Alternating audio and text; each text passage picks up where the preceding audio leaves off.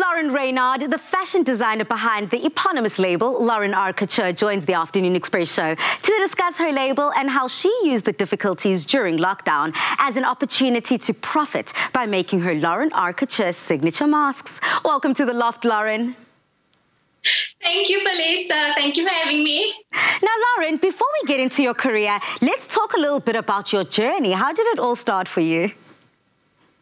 Uh, Palesa, since I was a little girl, I was always playing with materials and making dresses for my dolls. And I think that's where my passion ignited for fashion design. I love that. That sounds so simple, but it couldn't have been. I mean, first of all, Barbie dolls are like this big. So how does it even, how do you even think about it? Where does, where does one even start? You know, um, it's it's a very nice process to to work with the client. So they send through designs to me, and then um, we start working from that, and then I put I give my input with the fabric choices and all of that. Okay.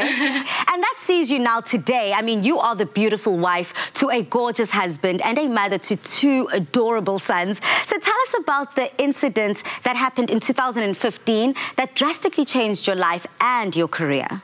Oh, that was a very hectic time for me, um, Palesa. My son was diagnosed with cancer, um, acute myeloid sarcoma. Um, it starts in the blood and then it um, goes to the body and it, you get like bumps all over the body. Yeah. Yeah.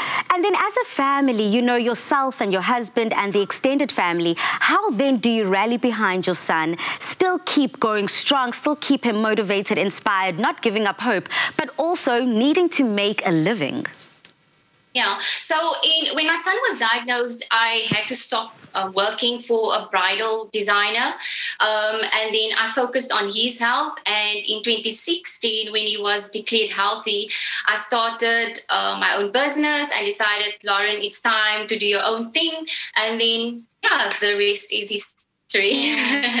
I'm grateful, first of all, for your son's health, just first and foremost. And secondly, that he's got this strong support system in yourself and in your husband, people that are able to elevate him even when he was at his lowest. And as a family, you were able to rally around each other and support each other. So now tell us all about Lauren R. Couture and what that represents. Lauren R. Couture is I'm I'm a very classic um, my designs are very classic and I try to um, stay true to myself by creating um, luxurious garments and um, and flatter the female body. Um, it's very important that you create designs that will flatter the body and show off the best features of the body. So I, I like to to stay true to the, the, the body shape and design according to that. So then, Lauren, what then happens when there's a lockdown and people are not getting married as they used to and there are no events to design for? You then flipped your designs on their head and you focused on the face and you created your masks. So please briefly tell me about the process of your masks and what anyone can look forward to when they want to seek out a Lauren R. Couture mask. so my mask, I decided to, you know, although it's a precaution, a lot of ladies wanted something to match their garments. So I sourced some fabric that's a bit more glamorous so they can match it with the outfits for when they go out. Um, yeah, and match with the outfits when they go to like weddings now, like yeah. more intimate weddings, and um, when they go to work, and you know?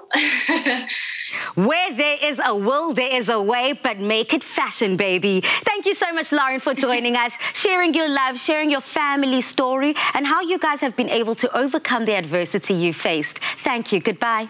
Thank you. Lauren Raynard is a true testament that when lockdown gave her lemons, instead of lemonade, she made masks. And what a need and success it's been.